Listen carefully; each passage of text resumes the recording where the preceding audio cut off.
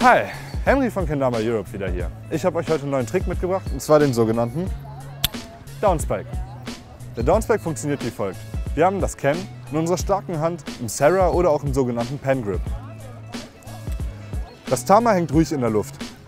Nun ziehen wir dies wieder mit der Aufwärtsbewegung aus den Knien nach oben. Jetzt merken wir aber, das Loch zeigt immer noch nach unten. Wie kriegen wir also nun das Loch so in die Luft, dass wir es von oben in den Downspike bekommen? Die funktioniert wie folgt.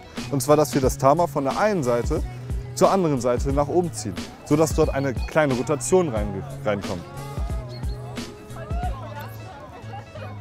Dies machen wir parallel mit der Aufwärtsbewegung aus den Knien. Dann entsteht diese halbe Rotation und wir haben die Chance, das Tama aus der Luft im Downspike zu catchen, weil das Loch nun senkrecht nach oben zeigt.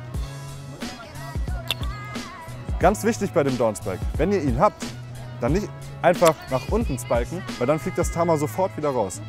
Und der Trick wird nie klappen. Insofern, sobald der Spike im Loch ist und ihr den Downspike downspiked, einmal das Ken drehen, sodass das Tama wirklich auf dem Spike bleiben kann. Also, ich mache es noch einmal falsch.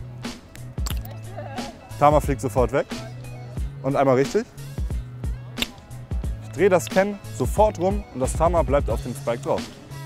Aus dem kann man viele verschiedene Variationen später starten und es ist ein toller Trick zum Einsteigen. Insofern viel Spaß beim Üben. Ich hoffe, ich konnte euch helfen. Falls ihr irgendwelche Fragen, Anregungen, Kommentare, sonst irgendwas habt, schreibt es einfach unten hin. Wir sehen uns das nächste Mal. Viel Spaß beim Üben.